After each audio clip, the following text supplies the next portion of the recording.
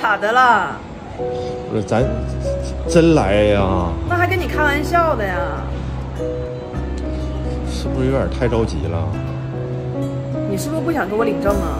没有，不是。那你看，你说问我能不能娶你，我不也答应了吗？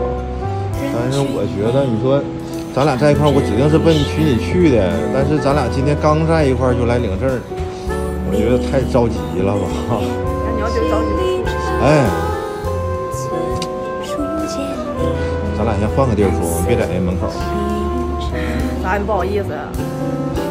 换个地儿就行，求你咋还找个没人的地方呢？怎么我们两个领证见不得人呢？不是，我不合计别在人门口说嘛，你就悄点悄话，别人听到怪不好意思。吧，真要领证啊？我还跟你开玩笑呢，门口咱俩都到了。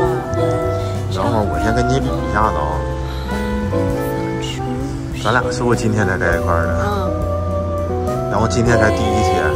对，我虽然说我向你求婚，那我指定是将来能娶你，但也不用这么着急吧？今天咱就得把证领了。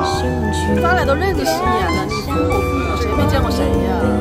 从小一块长大的，完你现在告诉我，我俩等于相当于之前没认识过了。不是，那你说啊，我家啥情况你也了解，那你说，那到前我你得让我挣两年钱呢，我得把房买了，咱俩再结呀。这等你挣两年钱等多久啊？这十年过去了还等？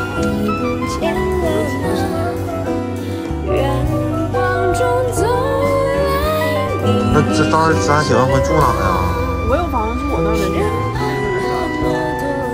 车你有，房子我有，咱缺啥？那不，你看结婚那不得给你家彩礼？再说结婚不也得花钱吗？彩礼有多少先办多少的呗，我父母啥人不也知道？那我不合计，咱俩好不容易结一回婚，完了我这么就应付你，我心里也过意不去啊。你就先办小的，以后你要真挣钱，咱再办大的，不也不是不可以吗？有这么好啊？